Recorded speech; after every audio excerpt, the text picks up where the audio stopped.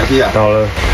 二火的二广的。监控人员才刚发现异物从天而降，没想到几秒后就有第二次坍塌。这次大批的水泥土石崩落，换另外一个角度，崩落的土石撞毁了防护网及鹰架，还拉倒整排围篱。第一时间接到讯息，我也是吓到啊，怎么又这样子哦？他非常紧张，他都讲了语无伦次的。住在对面的阿嬷差点被砸中，吓得打电话请儿子回家查看。会这么紧张，就在于同一栋建筑物发生坍塌，短短八个月已经是第三次。怎么走一不小心如果被砸到了，要找谁麻烦啊？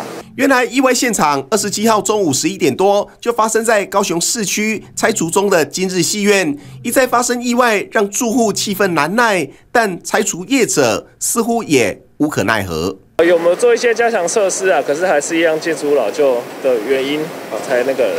原来今日戏院在今年一月出现首次水泥墙面坍塌，当时波及到对面八户民宅以及各一辆汽机车。六月份第二次坍塌，波及到三户民宅。到了这一次，仍有一户民宅一部电动机车及脚踏车毁损，也让全责单位公务局说了重话。这一次，我们另外会依营造业法，除了警告之外，他最终可以处三个月以上一年以下勒令停业，就是他们没有办法执业哈。原来这次公务局除了比照上一次对业者勒令停工及开罚九万元，还要依营建法进行惩戒。另外，警方也依公共危险罪将施工单位函送。但除了惩罚手段，由于五十几年的戏院结构实在太过老旧脆弱，导致三个月的拆除工期变得遥遥无期。因此，市府也考虑要协调当地住户暂时撤离，让业者能够加快拆除进度？TVBS 新闻南部综合报道，请订阅、按赞、分享 TVBS 新闻频道，并开启小铃铛。也请下载 TVBS 新闻 APP，随时掌握